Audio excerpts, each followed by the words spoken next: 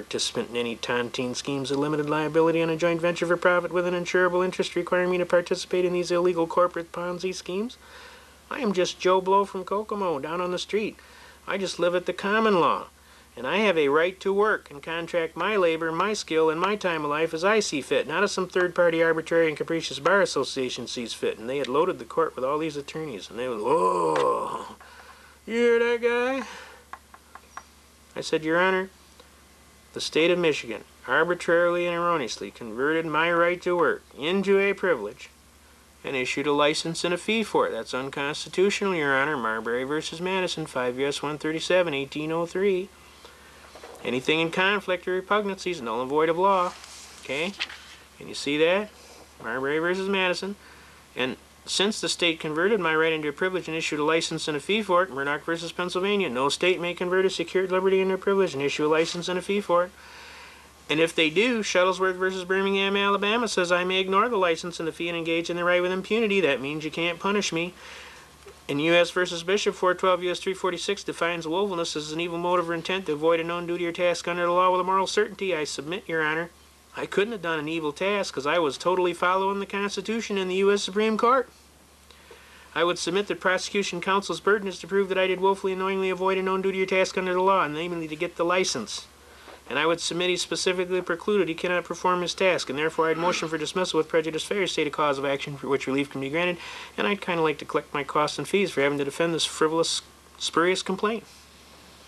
The judge rolls back in his chair with a great big smile, and he turns to counsel for the prosecution. He says, Well, Mr. Prose, what do you think we ought to do about this young gentleman? The prosecution bounced back. How about we honor the motion to dismiss, Your Honor? The judge says, Good answer, because I don't think you're ready for this kid today. And the whole court broke out laughing. An old gentleman walked up to me and he said, Son, I just want to shake your hand and tell you, you got to have like King Kong. Because you just slammed the Bar Association right into the ground. On top of that, I've been an attorney for 57 years, and I just want to shake your hand, sir, and tell you that that was one of the most magnificent arguments that I've ever had the privilege to hear in a court of law. Now, he was an honest attorney, and he realized what kind of a chain was around his ankle with this bar association. And these lawyers, they resent that. They really do. They're people just like you. They don't like to have any chains on them. But they hadn't had anybody quite show them how to get those chains off.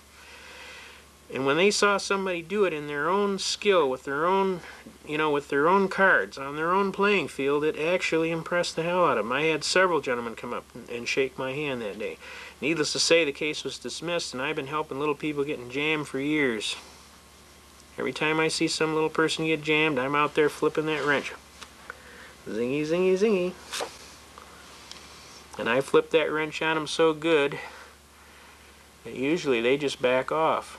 Dr. Kevorkian was a perfect example. The poor man was uh, just trying to help these poor people. They were jamming him every which way but loose.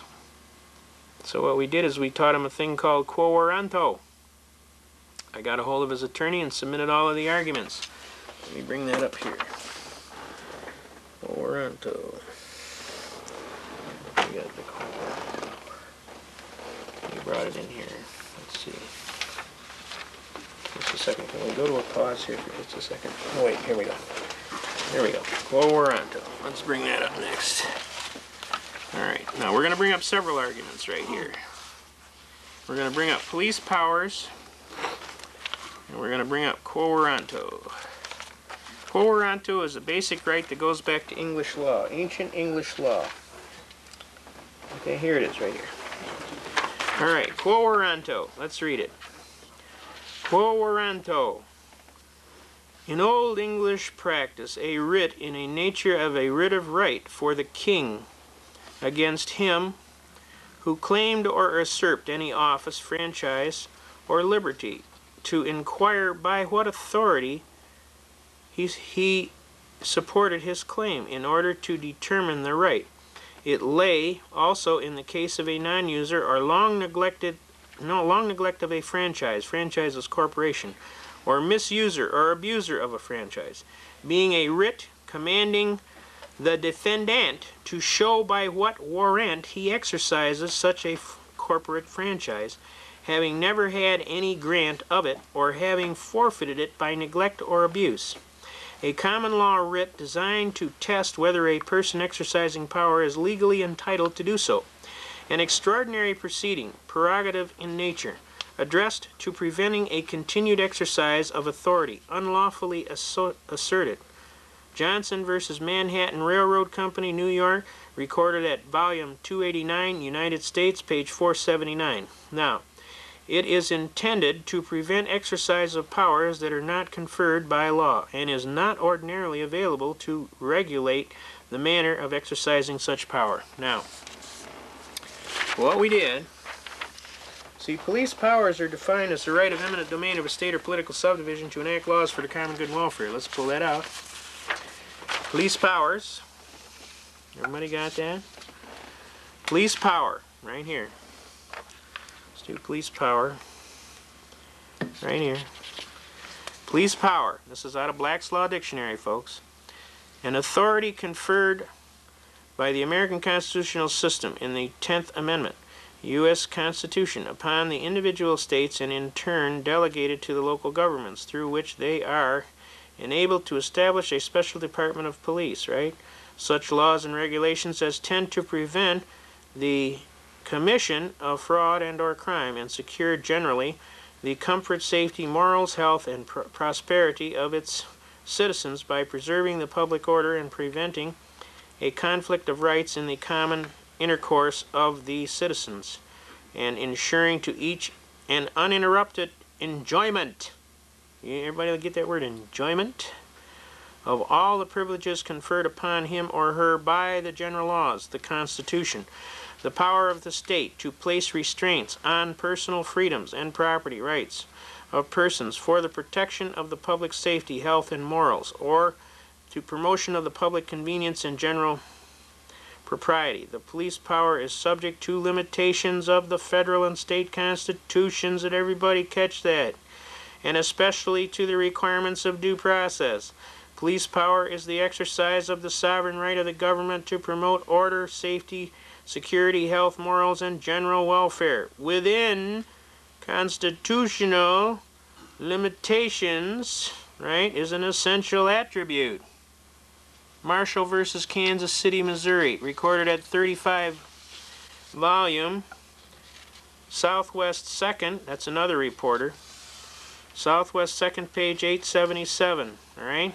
Now, police powers are the right of eminent domain of a state or political subdivision to enact laws for the common good and welfare and to curb crime within constitutional limitations. And the key words in that whole thing are within constitutional limitations. And then it tells you to see the 10th Amendment.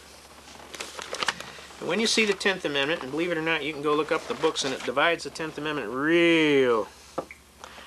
Here, pull over here.